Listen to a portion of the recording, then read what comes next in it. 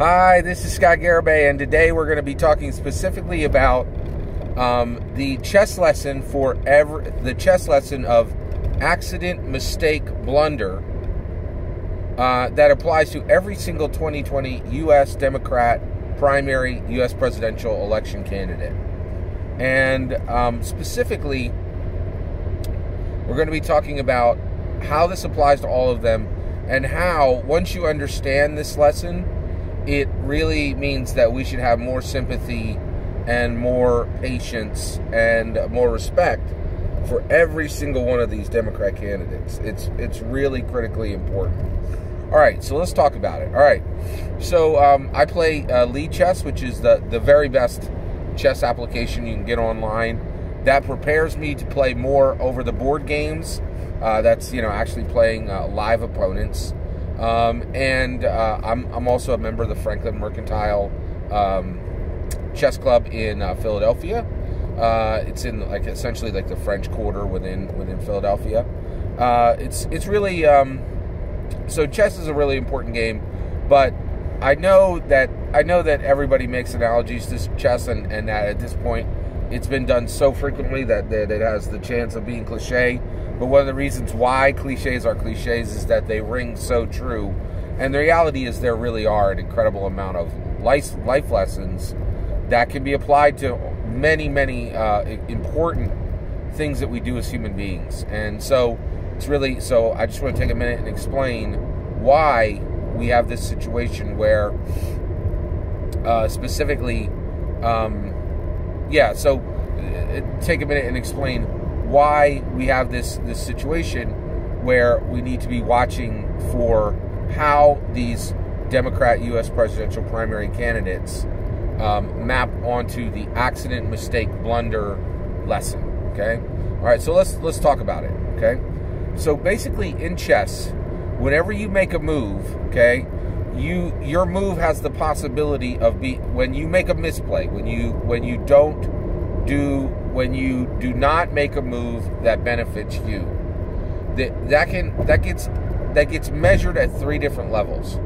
Accident, mistake, and blunder. And I'm going to explain them to you. So accident is when you make a move in chess and it was not your best possible move, okay? Now, it's argue and and that and that comes from the computer has uh, has played a million different games and the computer is saying, "Hey, if you had made this move you know, 55% of all opponents would win with this move over this move, right? And so it says the move that you made, it only wins 45% of the time, right?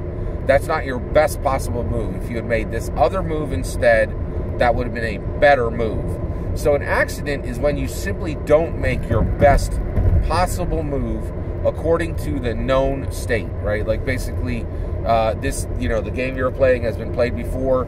That move has been seen. It's been calculated out to see how many games in a thousand could be won or lost, right?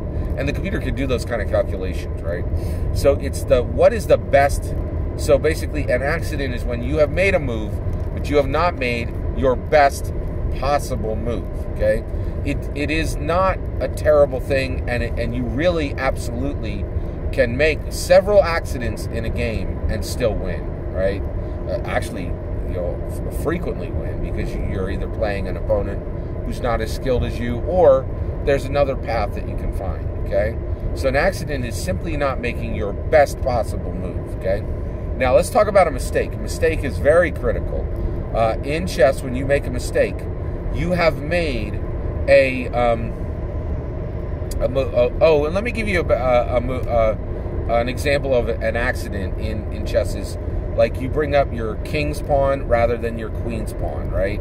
Uh, even that opening could there might be uh, you know um, people would say okay well king's pawn wins more more frequently than queen's pawn that kind of thing right? That's an act no you haven't lost any you're literally just losing position you haven't even lost any any any pieces that's an accident all right now let's talk about a mistake a mistake is when you make a move that changes you from a winning position to an even position, right? So you were winning, right? You had one or more pawn, you had taken one or more pawns, or you had even taken a principal piece, right? A rook, a bishop, a knight, right? let's not bring in the queen into it at this point. No, we're not there. Queen queen is not really concerned at the mistake level generally. Okay, all right. So here's the issue, right? You have this. Uh, you're moving forward and, and, you're doing what you can, right? And uh, basically, a good example of a mistake is when your bishop is taken without retribution. Okay, uh, in chess, uh, pieces have different point values. A pawn has one point value. Uh, a a bishop or a bishop or a, a knight is three points. A rook is four points, and the queen is nine points. Okay, the king has no point value. When the king is is trapped, the game is over. Okay, so the queen is incredibly valuable. Bishops and rooks are equal. Uh, bishops and knights are equal, and rooks are a little more important, right? So so here's the issue, right? If you make a mistake, you would have your bishop taken without retribution, which means somebody takes your bishop and you don't take their bishop in return, or you don't take their knight in return, right? You don't take something of equal value on the very next turn, right? That's without retribution. This is very bad. You're three points behind right now, right? So at this point, but you could still win the game, right? You could still win the game. There's a path, but it's very bad. It's frightening when it happens for a player, okay? Last is a blunder. Okay, a blunder is the game that lo- is the move that loses you the game, um, figuratively but not literally. Okay, so basically, a blunder is when you make a, a mistake so bad that it's almost impossible for you to return from that mistake. The, you're not in checkmate, but checkmate is only a few moves away, and you have all but sealed your fate you have less than 10% chance of winning the game because you've made a mistake that is so bad. Okay? All right, now, a good example of this is let's say you have a knight and you're moving your knight up. There's a really powerful move in chess where you, you move a knight into, up into a specific position. The, um, the Your opponent would have their king and their rook on the back row. You fork, right, the king. So you put the king in check and the uh, opponent's going to have to move their king one space, and then you jump over the you jump over and onto the back line, right, and take their rook. It's powerful. It's really powerful, right? And players are always looking for it, like to do this king rook fork, right? And so, like, let's say you have a knight out, and you you you you're one move away from your king rook fork, and you're you're move you're moving, you're maneuvering and you're ready to do what you need, right? To really slam your opponent, you know, just give them a swift punch in the mouth, right? And and basically at that point you look over and your opponent takes your queen with a pawn, right? And you're like, "Oh my gosh, I didn't even see that. I was so focused on defeating my opponent that I didn't realize my queen was was endangered and I lost my queen. This is a blunder." You lose a queen, uh, and the opponent hasn't lost their queen in a game. Most good opponents will just absolutely wreck you. You're finished, right? So this is a blunder. This is a blunder is when you make a mistake that is so significant, you you've almost certainly sealed your own fate with your with your mistake. That's a blunder, right? So an accident, you you've missed your best move. A mistake, you've made a move that took you from a winning position, right? Winning winning the game to even. Okay? Excuse me. Okay. And then blunder is when you've made a critical mistake where you've all but sealed your own fate and it's about a 90% or more chance you're about to lose, okay, within a few moves. So,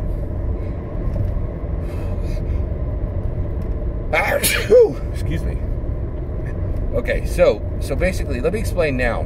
What does this mean in politics? Well, the first thing we need to realize is every single one of us, right, as American citizens, we need to have more respect and more sympathy and more thankfulness to every U.S. Democrat presidential 2020 uh, candidate, right? And the reason why is every single time they make a move, right?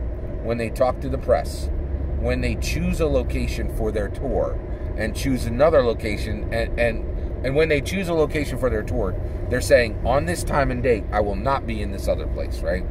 Everybody looked back at Hillary and said, what what the heck? You know, you, you chose your locations poorly. She made mistakes with the with the locations that she took she she chose for where she would visit during her campaign, right? In addition to that, every time you make a policy choice, every time you you do not define what your policies is, every move you make has a possibility of being an accident, a mistake, or a blunder, right? And this can be seen incredibly clearly in very specific points in time in America, both recent and in the past. So let's so I'm going to give you an example right now of every single one of these. Accident, mistake, and blunder.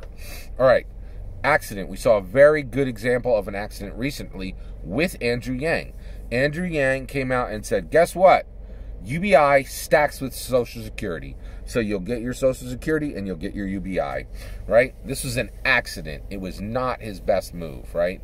And basically, the reason why is now it does look like in this circumstance, especially when it comes to senior citizens, that Andrew Yang is a is a populist. He's he's giving to the people not because the people need, but because uh, he knows that giving more will give the um, will give the American people give it will give a subsection of the American people in this circumstance senior citizens more uh, more money right so it's essentially it's as close as you can get to buying votes I'm not saying Andrew Yang's is buying votes but this is about as close as you can get right and here's the thing I think you know the better play the better play would have been Andrew Yang being patient and saying listen senior citizens I know you're like hey I worked hard for my Social Security. I want my Social Security.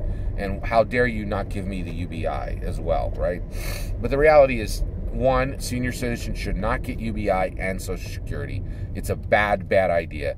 It means, you know, it, it is, it just means we're going to give, give, give, give, give. We're not giving, like uh, Andrew Yang choosing to give $12,000 a year, $1,000 a month that is a very carefully chosen amount. He is saying this is enough to make sure you're never hungry. This is enough sure to make sure that you have nice clothes. This is enough for you to pay for your pet's food, right? But you're going to struggle to get um, to get shelter. You'll have to combine your money with other people to get shelter, or you'll have to get uh, shelter that's certainly not the best shelter available, right? It's not it's not a just rain money down on you amount, right? But Social Security and UBI, that is right? That's too much. It, it is it is not fiscally responsible in my opinion. Now I have incredible sympathy for Andrew Yang for making this, and the reason why I think he made it is that American senior citizens to any politician, to any candidate in an election race, in a primary race, it's terrifying. And the reason why is um, basically senior citizens are like the inverse of the young, right? Essentially, at the macro, there was a study recently that said um, four out of five young people don't vote that are eligible, which totally makes sense. I've seen this myself, right? And uh, e- even with my own kids, right? Like they're not, they're just not that like it's just not that important to them that they vote, right? But senior citizens are the inverse. It's like four out of five citizens, senior citizens, do vote, right? I don't know what the I, I haven't seen a poll a poll on that, but I know from the fact that every uh, that every single day of my life that I've followed politicians, no politician ever goes against the senior citizens, and they know if they do, the senior citizens will karate chop them in the face, right? Like at the polls, right? They will just utterly destroy them in the polls. Not not at the at the at the polling place where you vote, right? They will vote them out. Like senior citizens do not mess around. When it comes to voting, senior citizens are like the Venn diagram is almost a complete overlap. Virtually every senior citizen votes. It's it's it's crazy. It's crazy, and so every politician is terrified of him.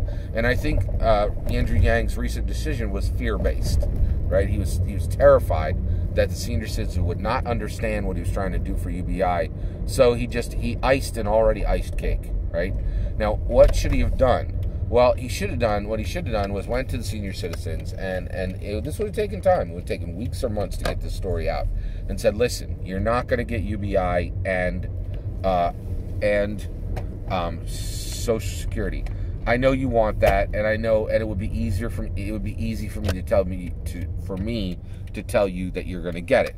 But the reason why we're not going to give that to you, reason why we're going to keep it moving and and do a much more physically fiscally responsible action is that the $12,000 is going to every living adult, the American adult between 18 and 65, right? Now, you already have problems as senior citizens where you're taking care. Some of you are, are, are raising children that aren't that are your children's. Some of you are literally raising your own grandchildren, right?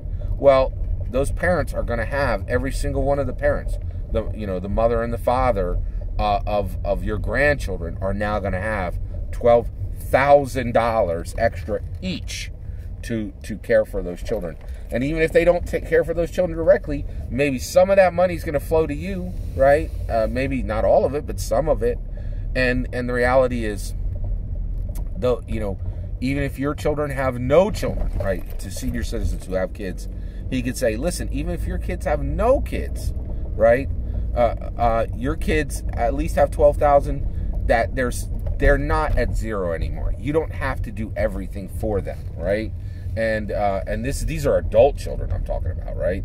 So like the reality is everybody in your life is going to have more resources, and you guys can take a breath and stop, you know, stop not only taking care of all of your needs and all of your concerns, but even caring for your own children, giving them money, and even caring for your grandchildren, giving them money, because your children are going to have every single one of your children is going to have twelve thousand extra dollars a year. So that's where you will see a break, right?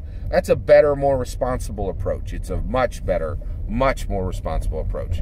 Andrew Yang didn't do that. I have incredible amount of sympathy and I have respect for him because like I, you know, I know why he's doing this. He doesn't want to get he doesn't want his opponents to leverage the senior citizen vote against him, which is very very easy to do, right? All you have to do is just frighten the senior citizens. It's been done a million times before. It's one of the oldest tricks in the book. All right, let's talk about a mistake, right? Uh, now, actually, just to be clear, that accident, that doesn't, that really doesn't hurt um, Andrew Yang's chances. Maybe one to three percent chance, right? Shift, right? It's no big deal. He's still got a million different. He's still got a thousand different paths to win the game, right? All right. So here's the issue: mistake, right? Very clear mistake recently. Elizabeth Warren said, "I will not go on Fox." town hall. Huge mistake. This is a mistake, right? One, it remind it, it is a cry to the skies. I am Hillary Clinton, right? Basically, Elizabeth Warren is saying if somebody doesn't like what I have to say or if somebody's opposed to my views, I'm I don't even deem them worthy of communication, right? And that's what Hillary did. There's a whole bunch of states she didn't care about, a whole bunch of states and different locations she knew she wouldn't poll well and and she never went right and then she she gave her classic now you know uh, line basket of deplorables howard stern right uh, howard stern begged her to come on his show he's on a tour a book tour right now and he's talking about it he's like if she had just come i think i think she could have directly talked to the 5 or 10% of the people, certainly the 5%. He's got 30 million viewers, right? And he's like, I could have brought millions of views, right? Uh, I could have brought millions of, of views and given her a chance to win over some of those deplorables. Howard Stern's knows that the basket of deplorables, by the way, I'm using that term as the group of people that she identified. I do not identify them as deplorables. But, you know, Howard Stern was saying, hey, the basket of deplorables is with me. Talk to them, win them, right? And as a politician, you must do that. And now Elizabeth Warren's going, nope, I don't need to do that. Uh, I don't like Fox News. I think they're, you know, they they support fascism and they support 15 other things that I don't like. And so I'm not going to talk to them, right?